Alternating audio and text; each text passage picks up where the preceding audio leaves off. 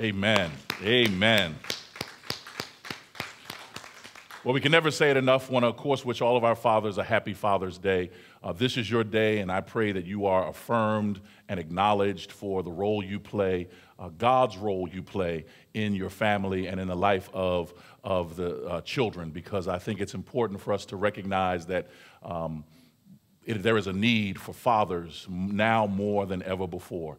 And I want to just encourage all of our fathers. We, we know there's no playbook for fatherhood. Um, and we do the best we can day by day, week by week, month by month, year by year. And so uh, well, we're thankful for every man who's fulfilling that fatherhood role because it does make a difference in the next generation. Amen? Amen. All right, well, let's um, get ready to go into our message. Please take out your, your, your mobile device and pull up your, your note sheet so that you can follow along in the message because we're in lesson number three of this series we've entitled Persistence. And what we've been looking at along this journey is how manifestation of our victory goals can't happen unless we are persistent.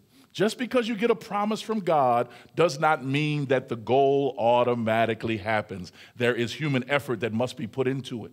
And for many of us, when we've seen our whole lives turned upside down, we've seen our country and our world turned upside down over the last several months, you may think that this is a lost year and that whatever you had planned for this year, you'll just roll it over until 2021. But what I want you to know is that if you will remain persistent, God will fulfill his promise in your life and show you victory 2020. So don't allow yourself to be tricked into thinking that you got to wait for next year. And so we t- started out in this series talking about how you had to get ready to fight that if you're going to really win, you have to have a fighter's mentality. You have to have a commitment that says, I'm going to keep my eye on the prize, and whatever obstacle comes in my way, I am not going to let myself become distracted. I'm going to get ready to fight.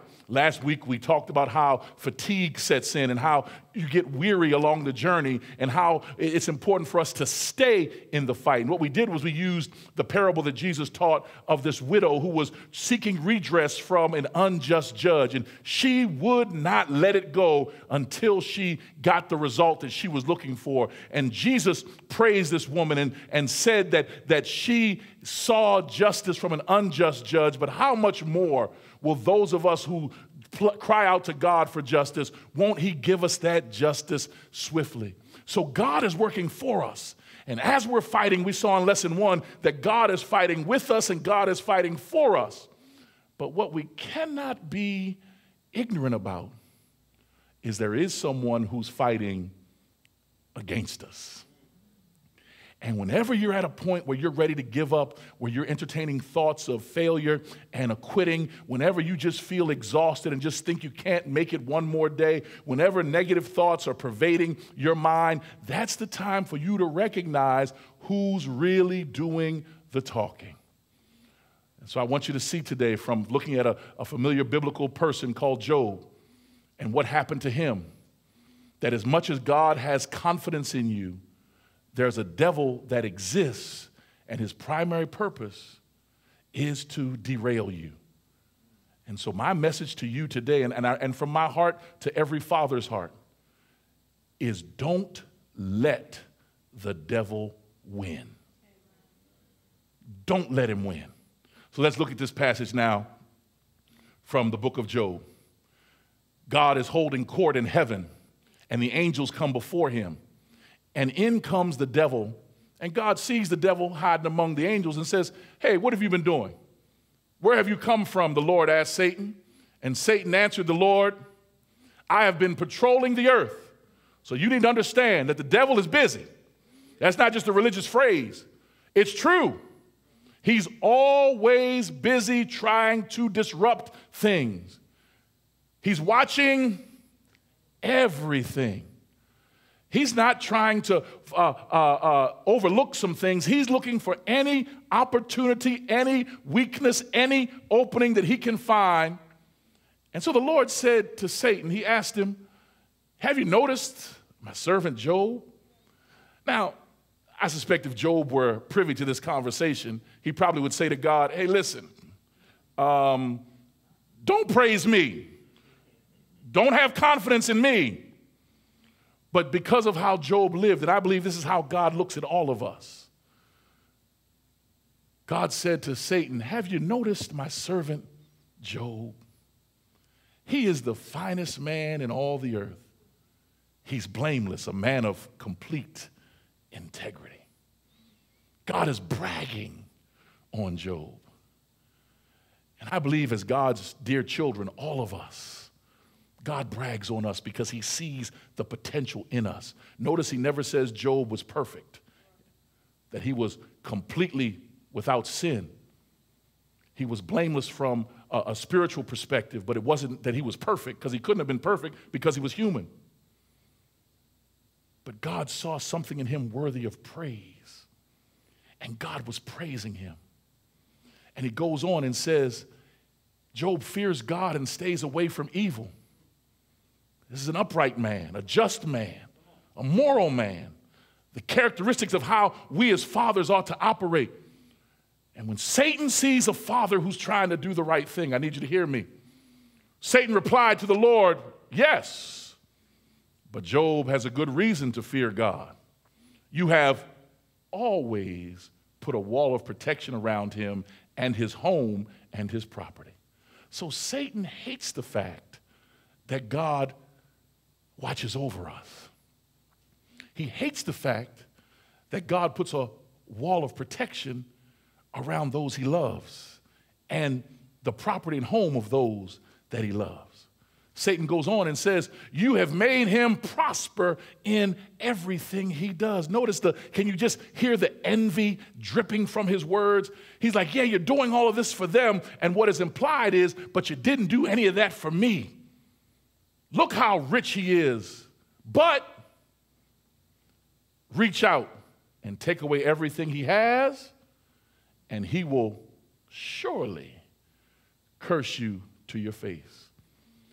Now, what the devil didn't understand, so I'm going to get you to the end of the story so before we go back and fill out the points. What the devil didn't understand was that Job loved God not for the things God did for him. Job loved God for who God is. And that's the difference between a man of the world and a man of God. A man of God may have things and be blessed with things, but those things are never greater than the God who gave them. And so the devil had a plan to come after Job to try to prove to God that his confidence in Job was misplaced. And men, I believe that the devil does that same thing with all of us. God sees us as the apple of his eye. He sees us as men of God. He sees us as men of integrity. And the devil says, Oh, yeah, that's what you think, God? Well, let me throw some chaos in their lives and see if you're still proud of how they operate. So I want you to understand that as you're living your life, as you're trying to do the best you can do with what you know and how to operate, you need to be assured and you need to understand. Point number one the devil is your enemy. He cannot be trusted. You should not ever listen to a word he says. When he whispers in your ear, when he agitates your emotions, all he's trying to do is get you off the path of victory onto the path of destruction. And we will either cooperate with him in our destruction or we will stand against him for our victory. Now, understand right up front the devil is not equal to God. So I am not trying to glorify the devil. I'm trying to help you understand that you do have an adversary who tries to trick you into forfeiting the victory that God has promised you. And my advice to you is the same advice that Peter gives. He says, stay alert. In other words, be on your guard. Don't become so comfortable that you don't think that the devil will try to destroy you because he will. Watch out for your great enemy, the devil. He prowls around like a roaring lion. He's always lurking, he's always moving, he's always trying to find an opening where he can jump on you. And as long as you don't leave yourself vulnerable, the devil can never get you to get off your path. Will he try? Absolutely. Will he keep on trying? Absolutely. But will he succeed? No, as long as you recognize him for who he is and stay close to God. Because he's going around like a roaring lion and he's looking for someone to devour. Just make sure that someone isn't you. Stand firm against him. That, that's all we have to do. Stand firm against him and be strong in your in your faith. That's what God wants us to do. But you're not doing it alone because Peter goes on and says, Remember that your family of believers all over the world is going through the same kind of suffering you are. Other people who are living for God are dealing with the same type of attacks and assaults. But he helps us understand that we're not alone. When we're standing firm, there are others who are standing firm with us. The devil, and we heard this from Jesus in John 10 10, he comes to steal, to kill, and destroy. But he can't do any of that without our cooperation. So, why would you cooperate with someone who's trying to destroy you? We can't let the devil win. He only wins if we stop staying alert. Please hear me, church. If we're going to have a fighting spirit, a victorious spirit, a persistent faith, it will only happen when we recognize who our true enemy is. Your enemy is not another person. I need to say this. In the marriage context, your enemy is not your spouse. Your, your enemy isn't your children. Your enemy isn't your boss. Your enemy isn't society. Your enemy is always the devil. Now, the devil will use people, but the source of it comes straight from the pit of hell. Are you all hearing me today? And so here's what Jesus said to Peter. He said to him, Simon, which is another name for Peter, stay on your toes. Satan has tried his best to separate all of you from me. That's what he wants to do. Yeah, you think just reading your Bible and praying in the morning and all that. Yes, oh God, I love you, and you worship and you sing your worship songs. You have the Christian station on in the car. You don't realize that everything you do to draw closer to God, the devil is trying to find a way to separate you from God. Because if He separates you from God, you become an easy, vulnerable target. That's why if you stop praying, that's why if you stop staying in the Word, if you stop saying the declarations over your life, if you stop those spiritual disciplines that draw you closer to God, all you're doing is putting a bullseye on yourself and saying, Come get me, devil. And you know what the devil's going to do? He is going to come and get you. And then you're going to wonder, what happened? Why this happened to me? And you know what instinctively we do? We don't blame the devil and we don't blame ourselves. We say, God, why did you let this happen to me? And God is saying, I didn't. You moved. I was protecting you. And you moved from near me and left yourself vulnerable.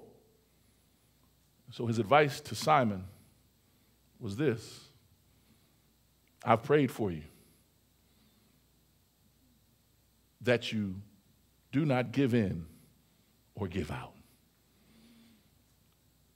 I want you to know today Jesus is praying for us. He knows where we're vulnerable. He knows how we're tempted. He knows where our, our breaking points are. But what his prayer is, is that we do not give in or give out, that we stay in the battle, that we stay focused on victory. And then he tells Peter, when you have come through the time of testing, turn to your companions and give them a fresh start.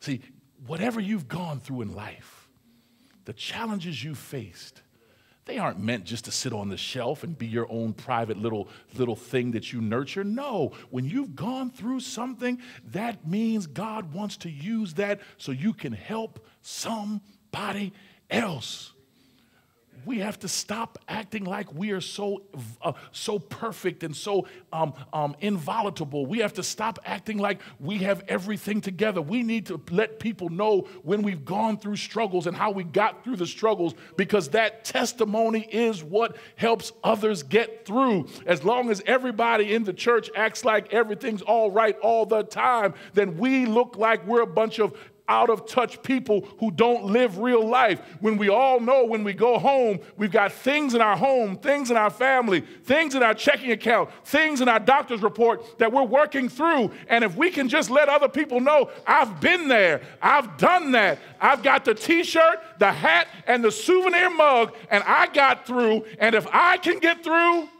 so can you. We, we have to take off the masks and let people see I've been through the storm, that I've been through the rain. I've seen the devil come against me. But, I, but God made sure he didn't win. And when we start telling testimonies like that, those who don't know our God will look and say, if that's the kind of God you serve, that's the God I want to serve. I don't want a God for perfect people. I need a God for broken people who he helps to become more in his image. So I want to be clear today. When trouble comes, don't blame God. Don't accuse God. And I think God made this thing easy for us, for those of us who are English speakers. I believe God made it so easy. Look at this. When trouble comes, blame the one who has evil in his name.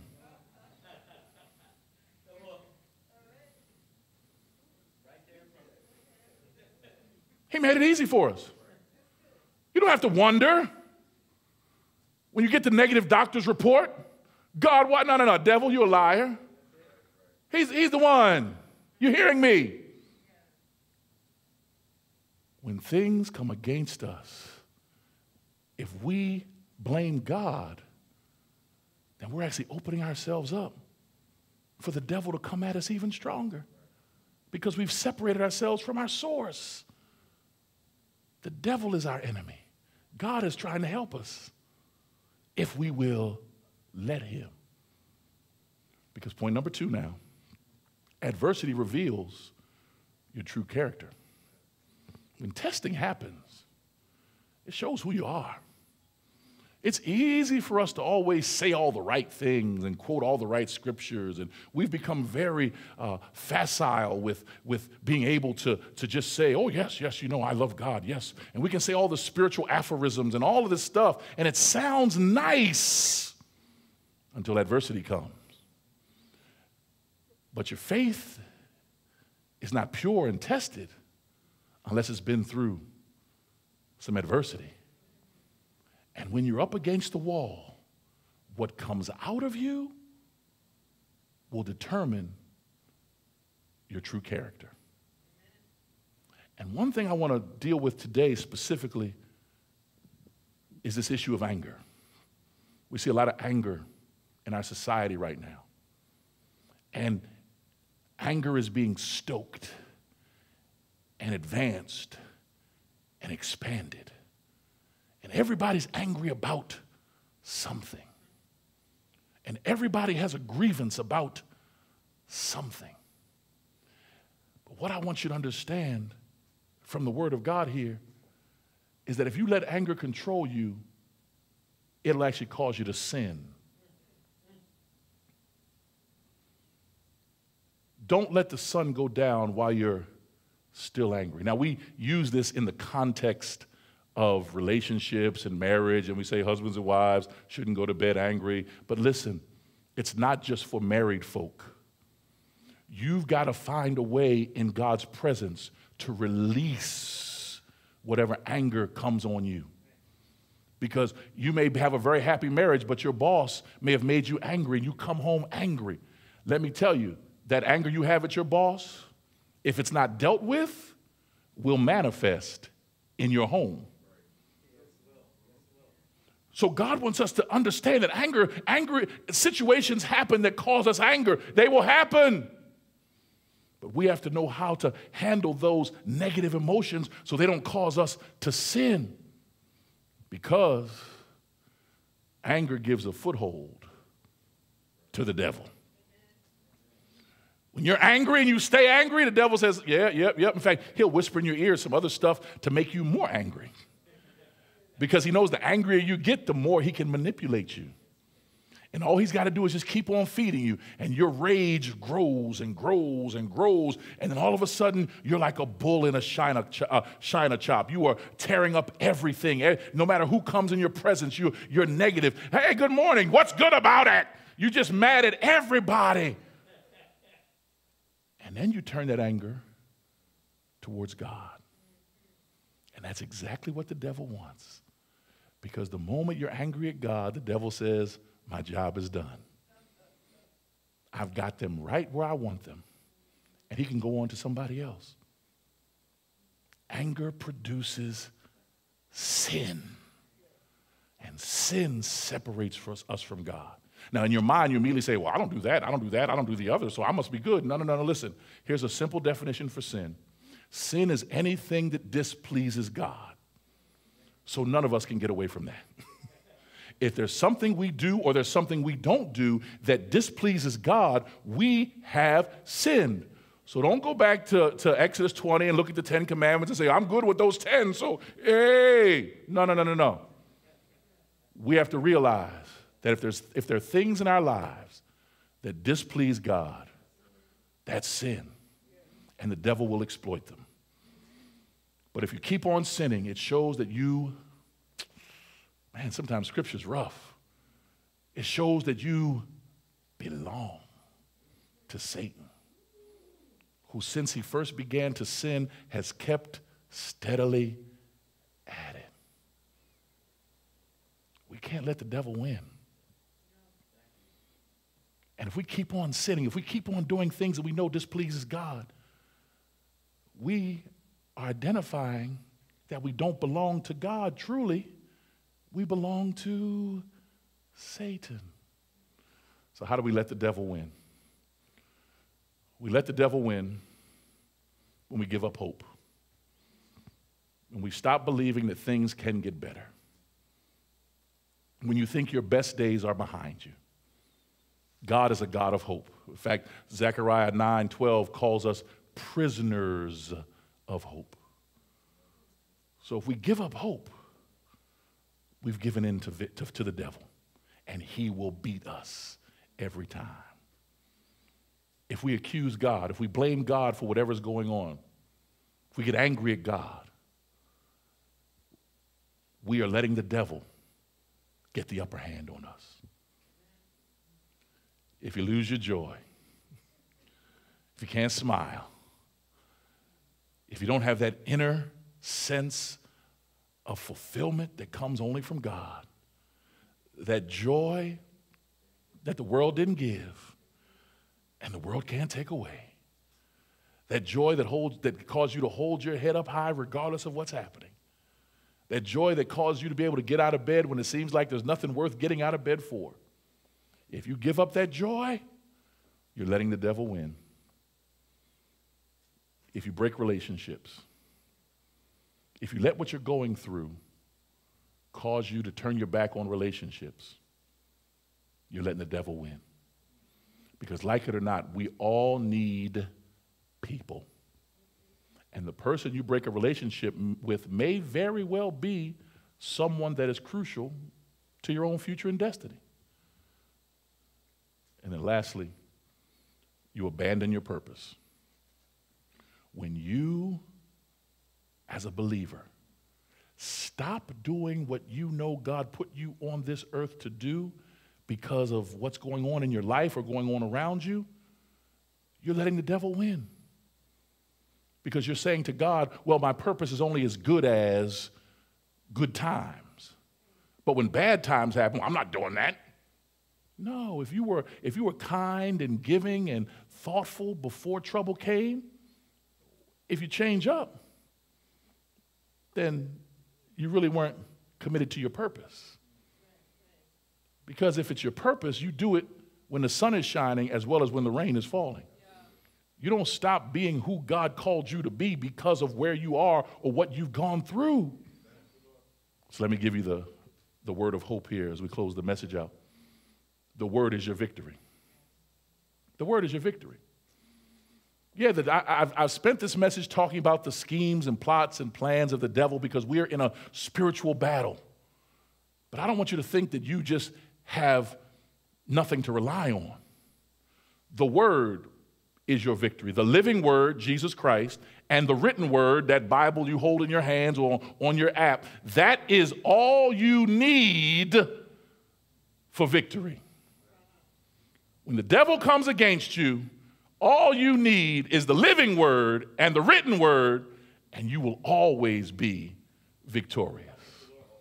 Now, that scripture I quoted you earlier from 1 John chapter 3, I left off the last part of the verse about how, you know, sinning continually, we belong to the devil and all of that. But there's a, uh, the last part of the verse you got to see.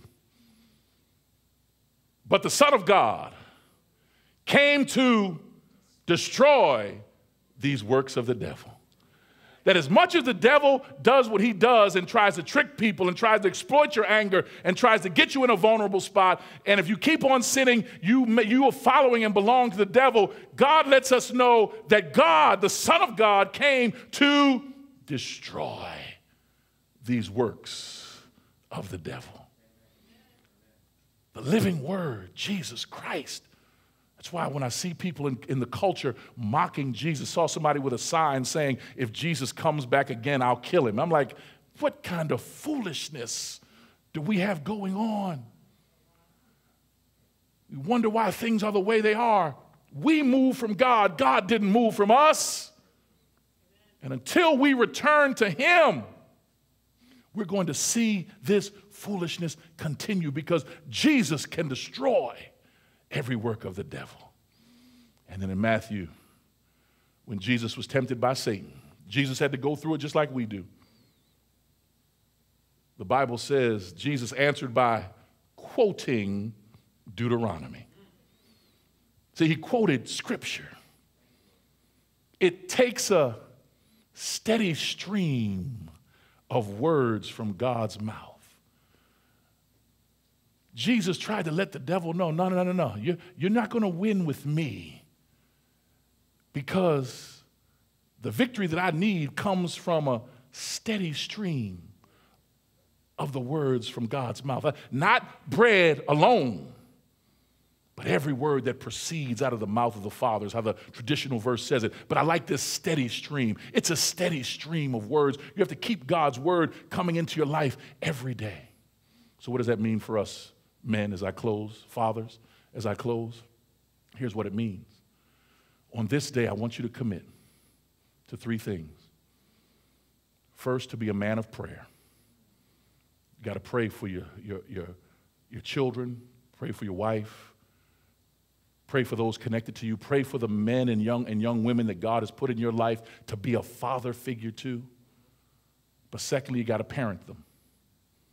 You got to be willing to tell them the truth truth is now such a, a weird commodity because everybody has their own truth. Listen, there's right is right and wrong is still wrong. There are no multiple versions of truth. There is one truth.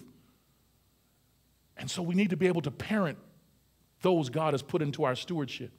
And parenting means you got to point them in the right direction, even when you have to tell them some hard truths about how their life is not in keeping with God's standards. They need that. They actually want that. Most kids who, who've grown up in a disciplinary family at some point in their lives come back and say, Thank you. Even if they didn't follow what they were taught, they at least knew where the compass was pointing. And then when they were ready, they could come back to it. You got to pray for them, you got to parent them. And then, thirdly, you got to push them. You got to help set them up to fulfill their purpose. And I believe that if we will do these things, the devil won't win in our families or with the next generation. Your heads are bowed and your eyes are closed.